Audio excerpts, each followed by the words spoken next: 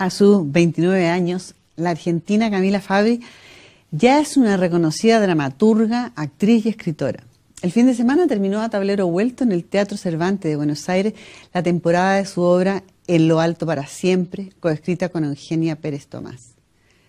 Camila estudió dramaturgia con el maestro Mauricio Cartún, actuación con Julio Chávez y estuvo en talleres de escritura con Romina Paula, que estuvo aquí el año pasado, Oliverio Coello y Juan Forn. Y está ahora aquí con nosotros en Del Fin del Mundo de Bio Bio TV, gracias a que la editorial Elefante acaba de reeditar Los Accidentes, un volumen de cuentos que apareció por primera vez en 2015, muy bien recibido por la crítica. Bueno, de su precoz carrera, sus influencias y cómo surgieron estos relatos, nos viene a hablar Camila en unos segundos, junto a Marco Antonio de la Parra. Bio, Bio TV y Universidad Finisterra presentan Del fin del mundo, un espacio para el teatro y la literatura. Conducen Ana Josefa Silva y Marco Antonio de la Parra. Afuera hay lluvia. Ellos la ven desde la ventana. Quisieran mojarse, pero hay pereza en los cuerpos. Salir a la calle no es una posibilidad, aunque exista el deseo. En la televisión también llueve. Varios canales de noticias muestran cómo. Ven la lluvia en la televisión, en la ventana. Están empapados de ideas. Es la vista la que da la idea de una tormenta, no es la tormenta misma. Ella no está bien. Él está desnudo, aunque entre ellos no haya pasado nada. Se abrazan, se preservan y en la hornalla hierve un agua. Piensa en la infinidad de posibilidades de abarcarle el cuerpo Quizás hasta podría metérsela adentro dormido. Ella quiere poseerlo y eso es imprudente. Está convencida de que el mecanismo es el inverso. El hombre, como alimaña, se come la mujercita que tiene más cerca. Genera el encuentro para lamerle después las comisuras y los huecos. El hueco que genera la unión entre el brazo y el torso. Sobre todo esa parte. Es visto bueno llegar a esa parte. No todos lo logran. Está presente el logro en la lamida a una mujer. Eso que sucede es un hecho superior el acto sexual se concreta, es bueno lamer, es bueno andar después libre de ideas. Un abrazo es un fantasma. Camila Fabri, ¿qué tal? Hola. Hola. Gracias. Por qué, qué escritura la tuya, ¿no? Es bastante sorprendente, tiene un fraseo lleno de inquietantes hallazgos, ¿no? Es, una renuncias a la linealidad, renuncias a lo, a lo, que uno podría esperar como convencional, estás siempre sorprendiendo, ¿no? ¿De dónde viene esta escritura, Camila? Em, bueno, eh, yo empecé un poco como, como empecé o, por qué, sí, sí, sí. Por, qué escribo así. Eh, no, me, gusta mucho leer poesía, supongo que, puede que algo de eso influencie en, en, la forma. Eh, ¿Qué poetas lees o leíste? ahora, bueno, Ahora, eh, digo, no sé, voy, voy, voy como salteando mucho, no, tengo así como unos favoritos. Eh, me gusta, de hecho, como mucho la, poesía breve, digamos, como no... Em, como el, haiku me gusta mucho también, como esa forma de en, tres líneas, no sé, hay un, hay un poeta argentino que se llama Jackie Setón, que me gusta mucho, eh, que no, no, no, bueno, no, eh, eso, que tiene como una forma de escribir muy del haiku, como que mm. poesías por ahí son una frase o dos. Mm. Eh, y me parece eso, me gusta como ese trabajo así, con solo con una frase en el medio de por ahí mm. todo un relato que, puede iluminar iluminarlo todo. Y así. Eh, de pronto hay aquí también en, estos cuentos, bueno, aparte que hay unos cuentos muy breves, sí. Wild, por ejemplo, que es es esto. Es una imagen. sí. Es una imagen, pero que contiene algo perturbador, ¿no? al, medio, ¿no? Sí. Totalmente, o sea, es muy poquito, pero... Sí, sí, sí, sí, y aquí al, perdona, y aquí al comienzo te decía que tienes una, una cita de William Carlos Williams. Sí. Eh, era un día helado, enterramos a la gata, después agarramos la caja y le prendimos fuego en el patio de atrás. A esas pulgas que escaparon de la tierra del fuego, las mató el frío. Muy William Carlos sí, muy. De hecho, es un fragmento de un poema más, más largo, pero, pero me quedé con esa parte de vuelta, ¿no? Como encontrando la estrella en el medio de algo más. Y, yo creo que eh, tus cuentos tienen, que lo dice mucho la crítica, ¿no? Tus cuentos tienen eso de, relatar muy en cotidiano, muy en, entre calidad, cosas que, que, se cuelan, que son medios tremendas, bastante tremendas, pero dicho de una manera como muy viola, como se diría. Por ejemplo, aquí eh, me encontré con una, eh, una tarde que estaba aburrido, me cuenta su madre, mi hijo se puso a fabricar bombitas. No las explota, nunca las explota. Lo dice así nomás. y eso ya es un cuento. Es un cuento, sí. Claro. Sí, hay algo medio como de una, una humor, pero también muy pesimista, como que no, no, entendés bien. Sí, sí. Puede ser. Pero síguenos contando de tus lecturas, de cómo llegas a esta que, que, hace una teoría del accidente en la literatura, ¿no? El cuento como, como una fractura. Así como... Sí, Sí, yo creo que hay algo, bueno, la, idea de, los accidentes me parece que también tiene que ver como, y esto por ahí lo digo con, ya lo tomo con cierto humor, pero a la vez es, es una pesadumbre también para mí, pero trato como de, de, reírme de eso. Em, no, como una forma también de, yo un poco vivo los días como con la idea de que siempre puede ocurrir un accidente o siempre puede haber una fractura eh, en, en, todo lugar al que voy o en todo lugar en el que, en el que estoy parada. Como mm. que hay veces que la cabeza no, no, no se detiene y genera como, no sé, esas ideas, como, y si acá ocurriera que, que tal vez, no sé, ¿no? Como todo podría estar mal de un segundo a otro. Em, digo, no, no sé, un poco me doy cuenta que convivo con esas ideas, entonces trato como de, no sé, bueno, transformarlas en otra cosa. Como, en cuentos, por ejemplo. Por ejemplo, sí. Pero tú decías que igual tu, tu escritura literaria está como bien cruzada con el teatro, porque la, tienes, eh, algunas, dices incluso que algunos las pensaste como para un, monólogo, texto teatral. Y, lo montaste incluso, ¿no? Sí. La, conversación, el Condición de Buenos Nadadores. Condición de Buenos Nadadores fue, es una obra que monté en el 2015, 2015-2014, la hice en un mm. natatorio eh, ah, real en un ah, espacio. Ah, claro. No, no fue en un teatro, digamos, fue en un mm. natatorio. Eh, y sí, un poco eh, yo empiezo a escribir más dramaturgia que, narrativa porque empecé a hacer, bueno, la EMAD, que es la Escuela Metropolitana de Dramaturgia ahí en Buenos Aires, y empecé a hacer talleres privados también. Y ahí escribí mi primera obra, entonces un poco empecé a trabajar más el, diálogo más que, la, mm. que la prosa. Pero en paralelo, por ahí, en, forma privada, sí escribía también narrativa. Mm. Y ahora siento que eso viró un poco, como que ahora estoy mm. más, eh, para el otro lado. Sí, escribiendo más cuento, ahora estoy trabajando en una mm. novela. ¿Estás trabajando una novela ahora? Sí, una novela crónica, en realidad, em, que es sobre em, un hecho que pasó en, en, Buenos Aires en diciembre del 2004 en la tragedia de Cromañón. Ah, lo de Cromañón. sí. sí, sí, claro. Bueno, entonces eh, estoy trabajando eso, que efectivamente tiene que tener un formato de novela porque... Mm. Pero no, es que de repente ahora me, me siento novelista, digamos, como me gusta el cuento como, como género. Pero este, claro, esto es una novela, igual es una novela ficción, no es que tú vayas a hacer un reportaje, investigación. No, es una investigación, pero no es un libro periodístico, digamos. Me parece que se, que se, que la vertiente es más como una, una crónica literaria, porque hay mucho de mm. relato propio en relación a eso, y también hay em, testimonios de amigos y amigas que, que tú estás recogiendo. Que lo que lo vivieron de alguna manera, no necesariamente que estuvieron ahí adentro. protagonistas, sino que lo, vivieron, claro. Sí. Es que yo creo que eso es una, historia que, que impactó fuerte, sigue siendo, y, hay aniversarios. sí, como generación, yo creo mm. que a, mi generación, de, de, los 30 años que tengo yo ahora, que voy a tener pronto, no sé, de los 20, 30 te diría que, que, tenemos mm. argentinos y argentinas, eh, nos marcó mucho. Pero volvamos a los accidentes ¿no? que ha publicado Elefante acá, que ya nos eh, trajo a Ariana Harwitz con Matate Amor y, Agosto Romina Paula, ¿no? dos eh, narradoras bien, bien importantes, digamos, y muy sorprendente. Y tú agregas otra vez otra sorpresa más. Entonces, ¿y, cómo fue armándose este libro? Porque por ahí en alguna entrevista tú dices que esto se fue armando de a poco, ¿no? Desde, los 18 años que apareció un primer boceto. ¿Cómo se fue armando los accidentes?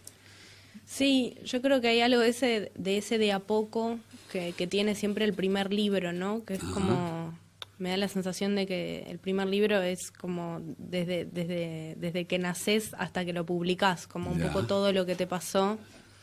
Eh, y después el segundo libro ya carga con el peso de que fueron, fueron es menos tiempo mm. de, trabajo, digamos, de elaboración personal.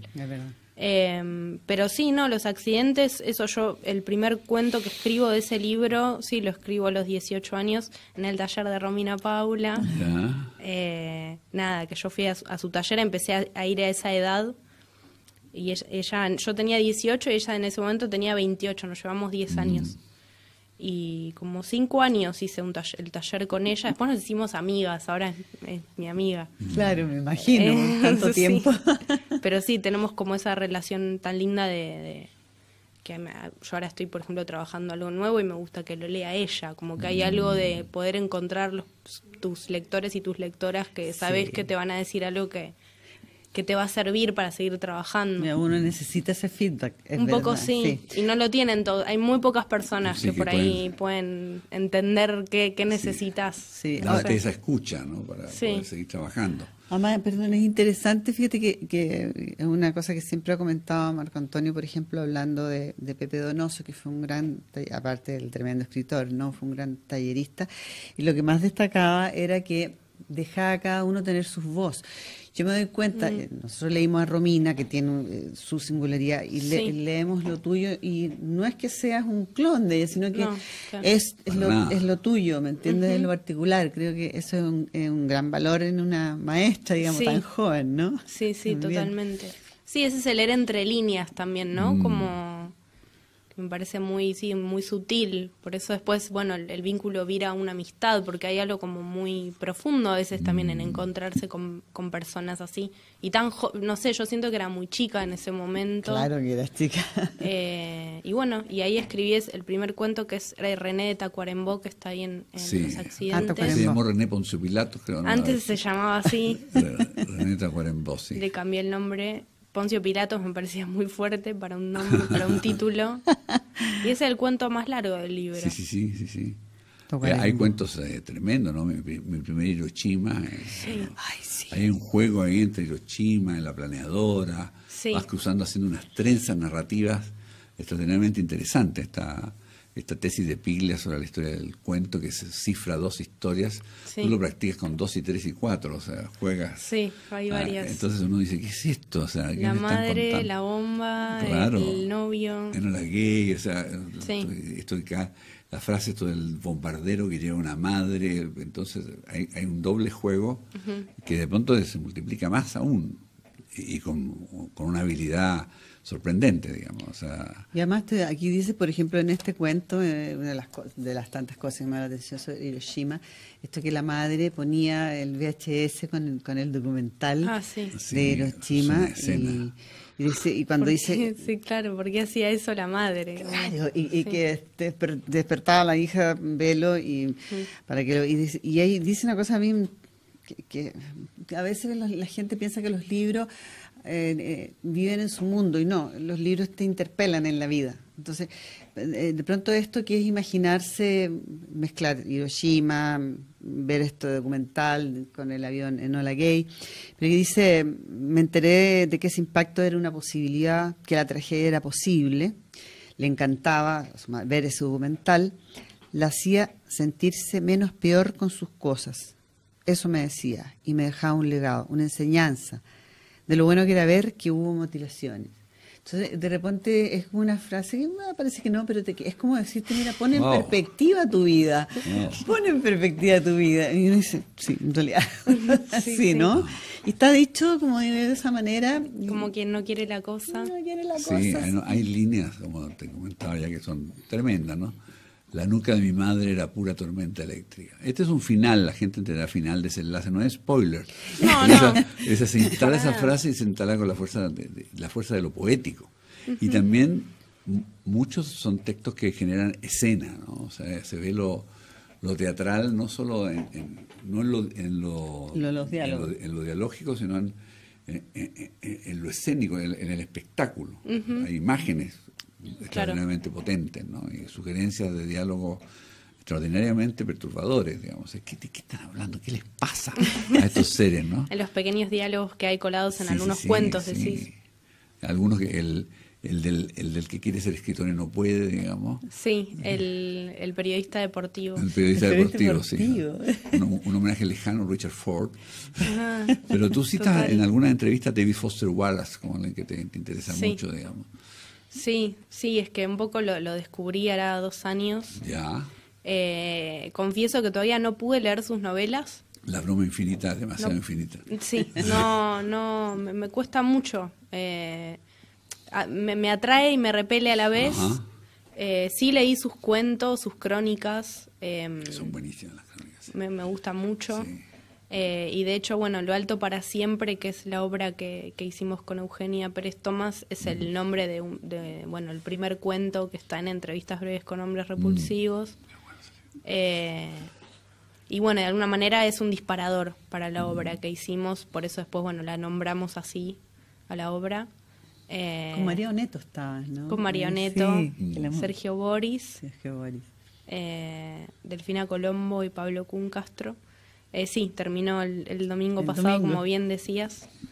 Em, y sí, bueno, y un poco en los viajes de Ulises hago una cita a ese cuento otra vez. El fanzine que sacaron. Sí, porque hay, que, hay que decir que esta, esta versión de los accidentes tiene 14 cuentos. Sí. La primera. Como la original, la, o sea, la mm, la primera edición también tiene 14. La primera. Y, hace poco, bueno, quise incluir un cuento más. Tuve la oportunidad de hacerlo con Editorial Almadía.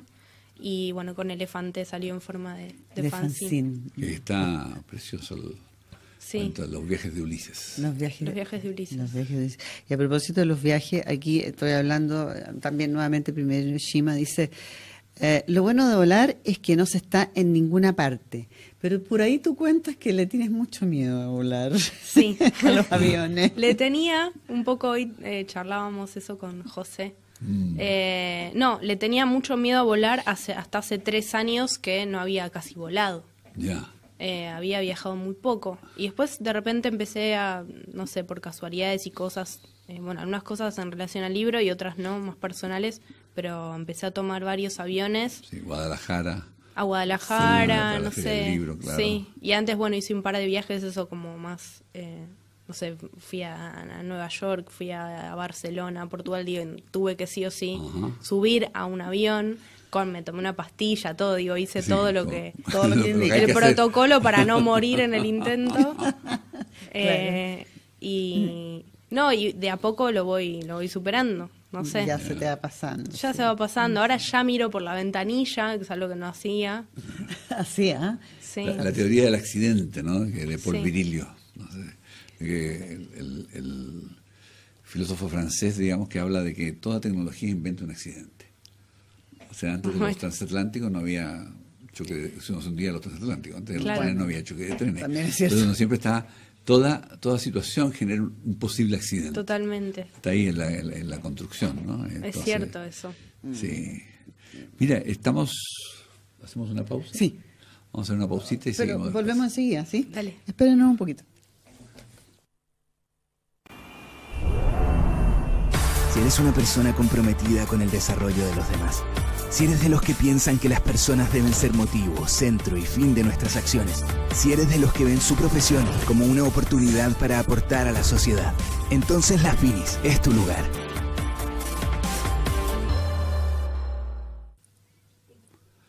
Dos osos mojados juegan en el hielo.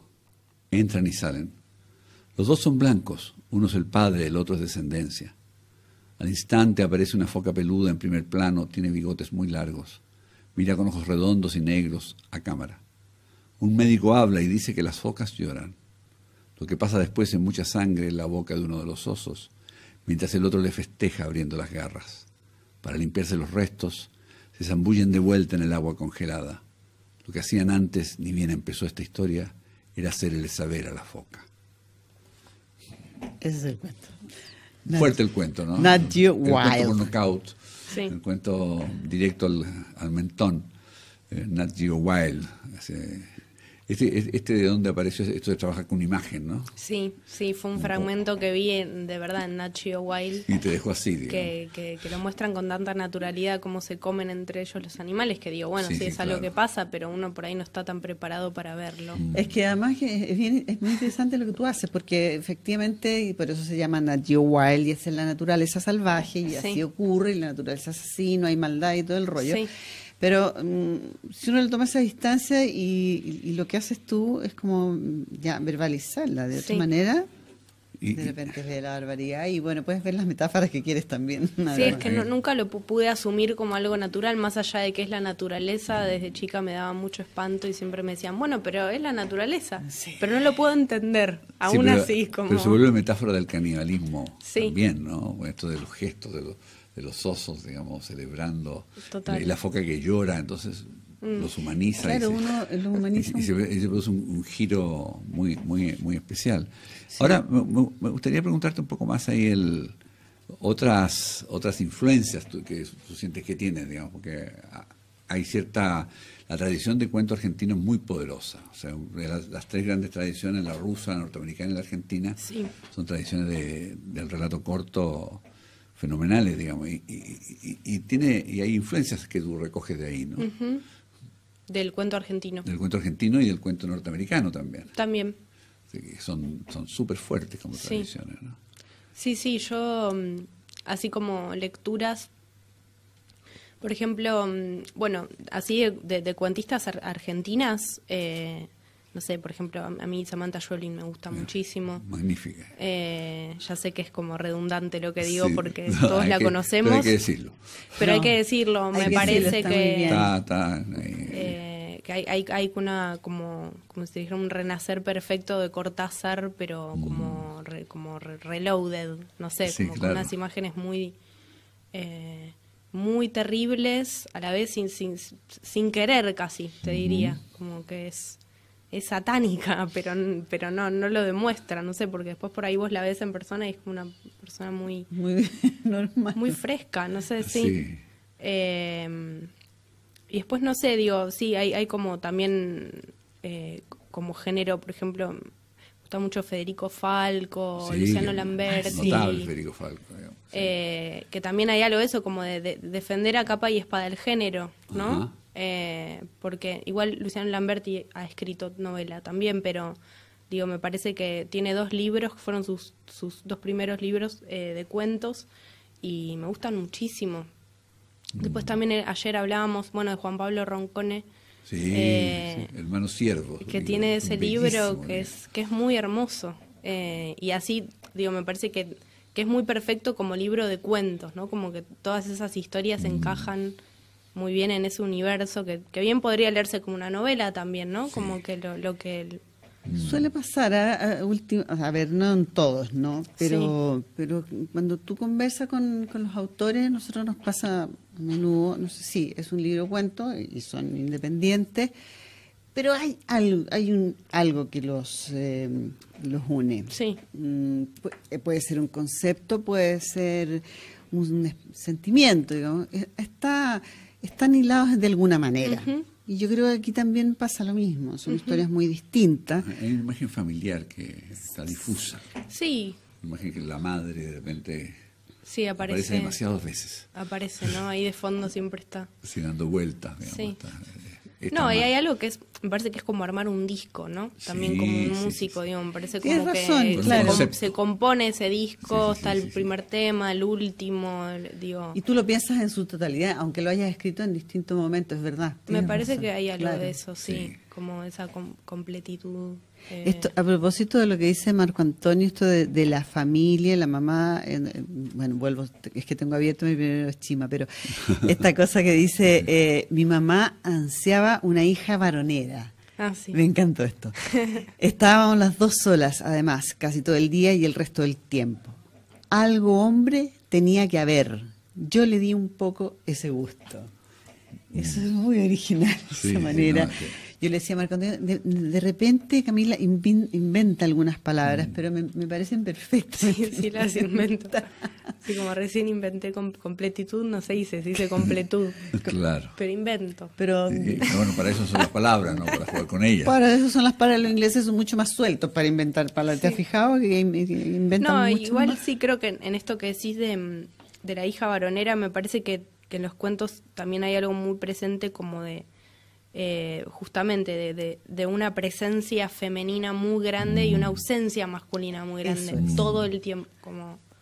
em, bueno, y paterna también, que aparece en el último Sí, cuento, sí, Un sí. abrazo es un fantasma. Es que es un- Eh, citas de repente en alguna en alguna entrevista por ahí a Lori Moore, Amy Hempel, Lydia Davis, o sea, como que son esas cuentistas feroces, digamos, Sí. de la tradición norteamericana. Y, y, y tu llegada al teatro, digamos, ¿cómo, cómo, cómo entras por ahí, digamos? Este es un programa de teatro y literatura, no sabemos si vuelvas aquí con una obra teatral. Claro. Verdad, cruzas- nunca se la cordillera con una obra, o te montan acá un texto, digamos, entonces sí. puedes anunciar, anunciarte ya. Con futuras obras. Sí, Sí, claro. Pero estás con la novela ahora, ¿no? Ahora estoy, sí, me parece que estoy más en, en, en ese en ese periodo de escritura solitaria Sí. eh, y recién eso terminó terminó la, la obra que, que hicimos con Eugenia, así que por ahora eh, Y esa sin obra, vistas esa la, habían la había estrenado el año pasado, sí. Sí. Y, pero estaba con funciones hasta ahora. No, o sea, se estrenó como es, es el, el Cervantes, es em, teatro oficial, las temporadas son Sí. de dos meses. El año pasado hicimos, eh, en, en el invierno fueron dos meses de temporada y ahora se repuso un mes más y Ajá. ya terminó. No sabemos si se va a volver a reponer ahí. O la llevas al off, digamos. O el, el sí, es difícil llevarla al off porque tiene una escenografía muy compleja. Ah, ya. porque es una, ca- una casa, eh, la, la obra sucede en el techo de una casa, entonces los actores Ya. están parados, es en altura, Ya. en el techo. Ah, entonces necesito un escenario con... Es una, es una escenografía muy pesada que no se puede armar y desarmar ¿En todo el qué, en, tiempo. qué- en cuál sala lo hicieron? En la sala Orestes Caviglia. Ya, ya. Eh, entonces sí, por ahora creemos que, que, que terminó ahí por ahora, veremos qué va a pasar. Pero, pero entonces estás en la novela y en teatro, ¿qué, qué, qué autores te interesan? ¿Por dónde te mueves tu influencia, tus Mis aficiones influencias del de teatro.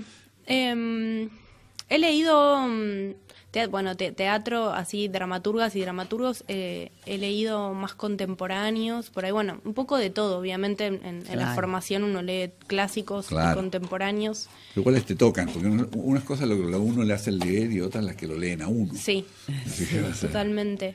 Em, no sé, recuerdo, así puedo recordar como obras, no sé Sí, si tanto como obras puntuales, Sí, no sé tanto au- autores o autoras.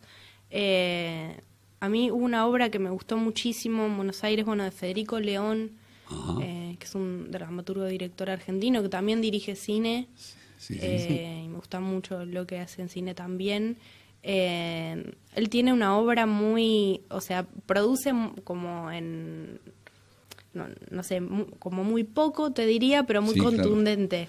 Sí. Eh, y recuerdo esta obra llamada Las Multitudes, que no sé Ya. si la No, lamentablemente. Eh, ¿Dónde eh, está? en ¿Dónde, el- eh, Esta obra se hizo en el, en el TASEC, en La Plata, y después se hizo en el Cultural San Martín. Ah, en el Cultura Ya. San Martín, ya. Eh, y no sé, viste esas obras que, te- que te quedan muy, muy pegadas. Mm. Eran como, creo que 80 actores y actrices en escena. 80. Wow. Sí. Wow. Y eran el grupo de los jóvenes, Las el grupo de las jóvenes. Sí, sí, sí. Y era algo que yo no había visto nunca. ¿Era como teatro. ciudadano ese tipo? ¿O no? ¿Eran solo actores profesionales? Lo que hice- ¿Te acuerdas de San Martín que hicieron eh, este montaje? Personas. De pers- que cuando que De participaban Vivitelias, digamos. la misma Ah, bueno, sí, claro, yo también me gusta mucho. Vivitelias Sí, que y hizo Lola Arias, que también trabaja con... Bueno, Pero Lola. acá esta multitud eran actores, actrices. o No, era una mezcla. Una mezcla... Sí. Claro era como los teatros por eso Sí. me Y iban en grupos y después se juntaban todos. Había algo como, no sé, me parecía que había como un análisis medio sociológico también, claro. pero, sin Federico León querer. tenía algo performático también, su, su También. espectáculo. digamos. Sí, ¿Cómo se llama sí. este Bajo el Agua? ¿Cómo es ese? Eh, 1500 metros Es. bajo el nivel de Jack o sobre el nivel de Jack. O sea, yo es. esa no la vi, pero la leí. Sí. porque era muy chica. Muy, muy impresionante ese espectáculo. Eh, pero sí, él me parece que tiene una obra muy, no sé, muy contundente y, Sí, que la, la sigo mucho. Sí, totalmente. Hay unas pe- curiosidades, digamos. Tú estuviste en el blog de Eterna Cadencia, que es una librería que me encanta. Sí. Y lo tiene- leemos mucho. y tiene Ah, lo leen mucho. manager Muy divertido, digamos. ¿Tú fuiste community manager de Eterna Cadencia alguna vez? Sí, no, community manager no, o sea, trabajé en Eterna Cadencia en la librería dos años. Ya. ¿En serio? Pero hacía un poco todo. Estaba en la librería algunas mañanas, Ya. eh, otros días hacía más, em, no sé, trabajo de computadora y otros días trabajaba en el blog escribiendo reseñas. Eso Eh, son- bueno, con razón, porque son estupendas esas reseñas. Yo las sigo siempre y las leo. Sí. Y vamos siempre nosotros para allá. Sí, es muy, es que es muy hermosa. Es Muy Y fueron también, tienen otra en, en Uruguay, Ah, en Sí, sí, claro. Escaramuza. Escaramuza. Escaramuza, Montevideo, claro. Escaramuza, Ese es otro viaje pendiente, digamos. Hay una pregunta que por, por tu imaginería, de pronto, y a lo mejor hago un acto sacrílego, me recordó a Marcelo Cohen, de los cuentos extrañísimos de Marcelo Cohen. digamos. Y también, bueno, tú lo citas Horacio Quiroga, digamos, que viene, eh, que es una influencia, una sombra. No sé si, Sí. si te resuena algo o me equivoco profundamente, digamos. eh, no, puede ser. Yo de él leí una novela, no, Ya, Rosario ah, no. Express, hace tiempo, era más chica. No me acuerdo los relatos de él, digamos, el hombre de tres brazos, digamos, una gallina, unos seres bastante anómalos, digamos, ¿no? Sí, sí, sí. Aunque tu escritura lo más anómalo es lo que haces con la sintaxis, digamos, con las palabras. O sea, cuando va a entrar una palabra, entraría una palabra común y corriente, lo hace un giro que es muy poético, ¿no? Eh, Como en la nuca de la madre, digamos, que, que- que salta y Sí, que, sí, te sorprende. Tú dices, ¿qué, qué está haciendo esta mujer con el fraseo? Sí, Eh, que algo que Zambra en, el- en la Lo dice, contraportada ¿no? lo dice, ¿no? Sí. O sea, abundan descripciones bellamente caprichosas y un fraseo personalísimo, dice Alejandro, ¿no? Impresionante la capacidad de la autora para mantener en el aire las ilusiones de sus personajes desesperados, que han sido tocados por el accidente, o sea, Sí. todos han sido tocados por el o accidente. por la idea de... La idea de, claro, que- Sí. que, que es un accidente en sí, digamos, Sí. que irrumpe y desorganiza y obliga a reestructurar. Y, y tú trabajas con esa ese desequilibrio. Sí. Eh, Imagino tu teatro, digamos, y trabajará en ese arte del peligro, como lo llamo yo. Sí, yo creo que sí, porque esta última obra que hicimos con Eugenia era todo el tiempo, hablaba del, del bueno, del borde, también del, Claro. del vacío y de, Sí. de estar a punto de tirarte o no, digamos, Sí. ¿no? Como Porque ellos están siempre en este techo. Que, están en este techo, la obra empieza con, con, con esta madre que, que, se, que se quiere tirar, pero no, pero entonces se queda ahí arriba en el techo, sentada en una reposera, y hay momentos que como que mira para abajo, pero después se vuelve a sentar, eh, porque bueno, de ahí se tiró hace un tiempo su hijo, y entonces ella queda como en lo alto para siempre, porque no puede bajar de ahí. Claro, en el accidente. Sí, Queda en el en el accidente, accidente. queda repitiéndolo una y otra vez. Mm. Em, y respecto a esto que decías de, de- de Horacio Quiroga, me parece que hay algo de estas primeras lecturas escolares, Sí, por ahí te diría, que me parece que mar- también como fundan una línea ahí que, que no se va más, Mm. como Graciela Montes, a mí me gusta mucho ella, que escribe juvenil y para niños, y me acuerdo mucho siempre de, de una novela que tiene que se llama Tengo un monstruo en el bolsillo. Ah, sí, sí. Ay, sí, sí. sí, No sé sí. si la leyeron, Sí, pero sí. yo se la regalo a todas las la- personas. También la compramos. Sí. eh, Me parece como Que es un, es un Fundamental. que- de, de- lo unheilish, como dice Freud, de lo siniestro. totalmente. Lo no familiar, ¿no? Este- Eso. Esta cosa peludita. así. Sí, Este monstruo con que empieza a habitar y descubrir las palabras. La, sí. la narradora es, muy- es muy Una vez que ella puede hablar de ese monstruo, el monstruo desaparece. Termina Sí. así la novela, Sí, una sí, novelita. Es- eso es, es muy significativo porque en el fondo tú estás diciendo, mira, verbaliza tus miedos, que es de Sí. alguna manera lo que tú has hecho. Sí, sí, sí. Cuando, cuando tú cuentas aquí, eh, yo todo el tiempo me estoy imaginando un accidente Sí. Y lo escribes acá. Sí, sí. Y ya es como exorcizar, ¿no? Un poco, sí. y, y está todo el rato presente. Ahora, respecto a lo que decía de, de- de Horacio aparte de Nat Geo, eh, lo que decía yo al comienzo son todas situaciones súper cotidianas, en rigor, pero que de pronto te salen, sa- te sacan de ahí. Hay situaciones, al revés, muy dramáticas, pero el- la forma en que son relatadas son de una sencillez, de una, ya digo, de un, un cotidiano, es como lo que podría ocurrir en cualquier lugar, pero relatado de una manera tal que de repente es, ¿qué me acabas de contar? tú dices, Sí, tú sí. terminas un cuento y dices, ¿qué me acabas de contar? Es muy- Porque este, sí, este... Yo creo que también un poco lo, lo que les comentaba antes de lo de lo de Cromañón, que éramos tan chicos Sí, y tan sí. chicas, eh, que un poco lo, lo que pasó fue que una noche fuimos a divertirnos y de repente ocurrió algo que nadie hubiera pensado que podía ocurrir, que era así, un accidente El o accidente. una tragedia o digamos, bueno, eso se puede discutir, ¿no? Si fue un accidente o qué, pero Bueno, claro, pero fue un horror. algo de la de claro de, de una noción de, de, de lo trágico a una edad demasiado temprana y me Mm. parece que eso un poco signa después no como uno va pensando las cosas Me, me- me empiezo a imaginar la novela y me da un poco de miedo leerla. Está bien eso, está bien eso. Está muy bien eso. Sí. Selva Almada anota, una, anota por ahí de pronto en una cita, ¿no? Refiriéndose a, tu- a tus textos. Trabaja con material defectuoso, desviado. En vez de enderezarlo, deja que siga creciendo para donde le guste, como una planta sin tutor. Y las plantas sin tutores construyen jardines salvajes, oscuros y fascinantes. Y ahí eh, describe muy bien tu escritura. Sí. es muy lindo lo que dijo Esa, línea de selva, ¿no? Eh, eh, eh, fascinante. Mira, se nos acerca el final del programa que se pasa volando, como tú ves. Sí, y recomendamos algunas cosas. Primero de todo, de todas maneras, los accidentes. Es una lectura obligatoria de este año, digamos, para, para este lado del- de, de los Andes. Y, al- a- y han llegado algunas cosas, ¿no? Julian Barnes, con los ojos bien abiertos, un libro que Julian Barnes confiesa que nunca se preocupó de, de ser formado en el arte, ni en la música, ni en la cultura, hasta que descubrió la pintura y ha- hace un recorrido por la pintura eh, absolutamente delicioso, digamos. Julian Barnes es un escritor finísimo, digamos, de una escritura muy notable. Me acuerdo cuando leí El, el loro de Flaubert, era, una, era una gozada, digamos, ese- Sí. esa construcción. Hay una novela para Helga, de Bertrand Birgeson, que es un texto del, del boom de Islandia, que Islandia no es solo York y volcanes, sino que ya empieza a haber un cine en Islandia muy interesante, y esta es una novela muy particular, una carta. Ah, series incluso. Sí, el Nordic Noir. Ah. Sí. Sí, ¿Te acuerdas de. Trapped? que está en internet.